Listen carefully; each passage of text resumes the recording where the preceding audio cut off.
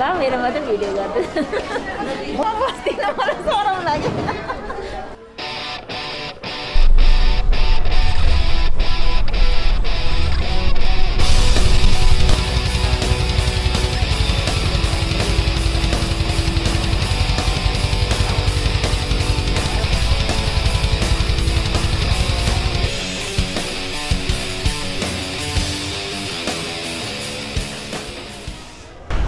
Hello everyone र आज म छु अ, गोरुबथानको सोमबारे बजारमा।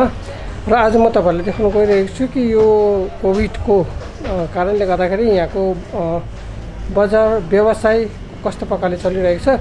र म आज गोरुबथान सोमबारे बजारको एउटा प्रसिद्ध दोकान कविरा कन्फेक्सनरीमा छु। यो it's a firm of departmental store यो डिपार्टमेन्टल स्टोर जस्तै हो यहाँनिर। सानो छ तर आज तपाईँले देख्नुहुँदैछ कि आज मान्छेहरू यहाँ कोही छैन। न मेरो अघि छ न मेरो पछाडि एकदमै सुनसान छ। यहाँ देख्नुहुँदैछ। अ, यो चाहिँ के कारणले भन्दाखेरि अहिले कोभिड पेन्डेमिकको समयले गर्दाखेरि मान्छेहरू घरदेखि बाहिर निस्किनु अलिकति गाह्रो मानिरहेको छ अलि डर भइरहेको छ। त्यसले गर्दा पनि होला र साथसाथै यहाँनिर अहिले भर्खरै West Bengal government state government साथसाथै जिटिए गोर्खाल्यान्ड टेरिटोरियल एडमिनिस्ट्रेसनबाट एउटा नोटिफिकेसन पनि निस्किएको छ कि दोकान पाटको समय उहाँहरूले एउटा निर्धारित समय दिनुभएको छ र आज बुझौँ यो कविरा कन्फेक्सनरीको ओनर मालिककोबाट प्रभात राईकोबाट कि त्यो नोटिफिकेसन के कस्तो छ?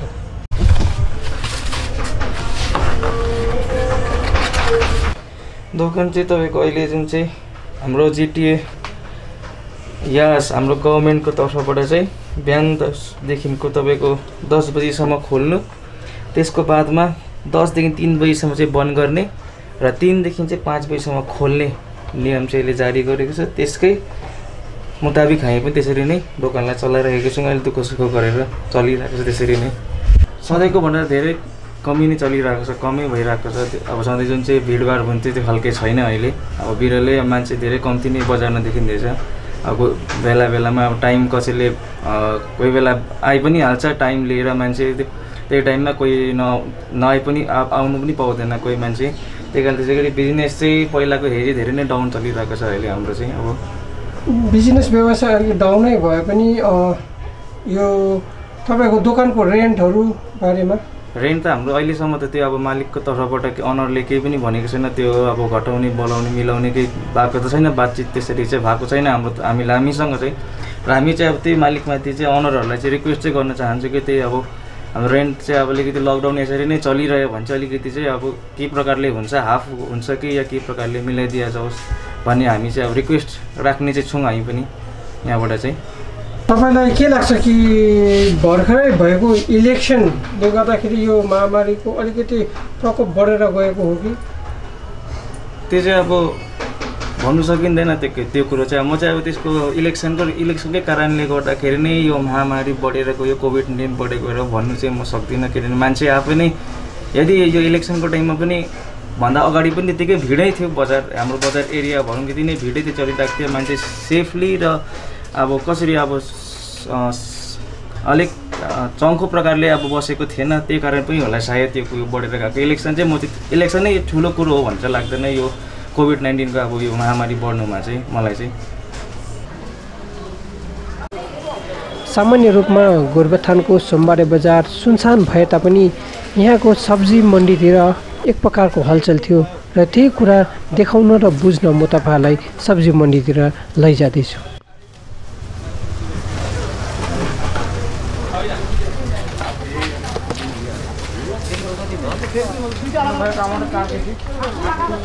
सात बजी बिहान सात बजीदेखि दस बजीसम्म त्यहाँदेखि तिन बजीदेखि पाँच बजीसम्म छ बिचमा बन्द हुन्छ बन्द आउँदैन त्यति अलिअलि आउँछ त्यति भिडभाड हुँदैन अब कम्ती कम्ती नै आउँछ हजुर मास्क लगाउँछ सबैले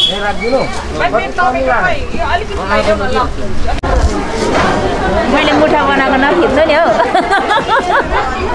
अर्ग्यानिक नजिकै गाउँ। दस बजी भित्रमा म त अरू बेला लाउँदिनँ कि। आज त्यसै अलिअलि बहिनीले लिएर आउँदो रहेछ र चाहिँ अब बेचिदिनु हुन त अरू बेला त दोकान लाउँछु सोमबारको दिन अत्ताबाडी लान्छु कि अहिले चाहिँ लकडाउनले गर्दा अब पैसाको लागि भन्दा पनि अब अहिले आफ्नो होइन सुरक्षितको लागि घरमै बस्दैछु। आज अब धेरै दिनको बादमा झरेको। धेरै दिनको बादमा झरेको हो। अब त्यो अलिअलि अर्ग्यानिक बेच्नु मात्रै झरेको। प्रब्लम त अब हुन्छ नि अब होइन दिनभरि दोकान लगाएको जस्तो र एकछिन लगाएको जस्तो त हुँदैन। यो हरियो परियो बिग्रिनु पनि सक्छ बिक्री भएन भने होइन। तर पनि अब आफ्नो मात्रै सुविस्ता हेरेर भएन होइन। सबैको सुविस्ता हेर्नु पऱ्यो बिक्री पट्टा मोटामोटी राम्रै छ ठिकै छ लागि म त अरू बेला बस्दिनँ नि त्यस्तो अन्दाज पनि छैन।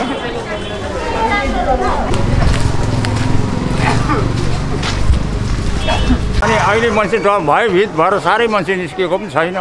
अनि निस्किँदा पनि बिहान अब सौदा गर्नुलाई चाहिँ निस्किनै पऱ्यो सागसब्जी लिँदाखेरि त्यहाँदेखि घर घरमै बस्छ मान्छे आउँदैन पनि हामी निस्किँदैनौँ पनि। र भयभितै छ अहिले। अझै जागरुक भएको छ। अहिले चाहिँ मास्क लाउँदैछन् सबैले प्रायः। पहिला चाहिँ मास्क बिनै हिँड्दै थिए। अहिले चाहिँ यस पेपर पढेपछि चाहिँ यिनीहरू मास्क लाउँदै हिँड्दैछ अहिले। विशेष गरेर यहाँ कोरोनाको पेसेन्ट चाहिँ यहाँ छैन पनि। छैन भएको पनि छैन त्यस्तो सङ्क्रामक भएको चाहिँ छैन। अहिलेसम्म चाहिँ।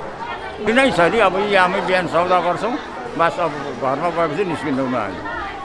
त्यस्तै अवस्था आउँदैछौँ अहिले हामी। र अहिलेसम्म त्यति सङ्क्रमित चाहिँ छैन है यो बजारतिर अथवा हामी यो हाम्रो समष्टितिर चाहिँ। एकदम भन् भनिदिन्छौँ। हामी सबैलाई भन्दै पनि छौँ मास्क लगाऊ घरमा बस्छ चाहिँदो बजार जाऊ आइहाल घरमा। न बाहिर नघुम बेकाममा नघुमिदेऊ। केटाहरू केटीहरूलाई पनि सबलाई भन्दैछौँ हामी यसरी नै। हुन त कोरोनाको भयले गर्दा होला कि बजारमा चहलपहल पनि अलिकति सधैँभन्दा कम्ती नै देखिँदैछ र गाडी घोडा पनि सधैँको जस्तो त्यति चलेको छैन। सो गाडी घोडाको बारेमा बुझ्नको निम्ति चाहिँ म तपाईँहरूलाई यहाँको गोरुबथान सेन्डिकेटमा लैजाँदैछु। अहिले गाडीहरू तपाईँको दार्जिलिङ एउटा कालिम्पोङ एउटा र सिलगढीको लागि दुई तिनवटा दुईवटा दुईवटा जस्तो बस चल्दैछ अहिले। पेसेन्जरको कमीले गर्दाखेरि कतिवटा त्यस्तै पेसेन्जरहरू नभएकोले गर्दा गाडी घोडा कतिवटा चलिसकेको छैन अहिले पेसेन्जरको कमीले गर्दाखेरि। पेसेन्जर पनि छैन। अब यो महामारीले गर्दा कति मान्छेहरू बाहिर निस्केको छैन। समस्या अब यस्तो छ पेसेन्जरलाई अब गाडी पनि अब अहिले यो कतिवटा पेन्डेमिकले गर्दाखेरि तपाईँको जुन चाहिँ दस बजीदेखिको बन्द भन्ने एउटा छ त्यहाँदेखि तपाईँको एउटा गभर्मेन्टको त्यो नोटिफिकेसन अनुसार तिन बजीदेखिको पाँच बजीसम्म छ। त्यसलाई पनि अलिकति मध्यनजर गर्दै गाडीहरू आफ्नो आफ्नो गति समयमा हिँड्नु सकेको छैन अहिले। अब पेसेन्जरलाई त्यही पाराले कन्ट्याक्ट गरेर अलिकति टाइममै निस्किदिएर हिँडिदिने उनीहरूले सूचित गर्दैछ।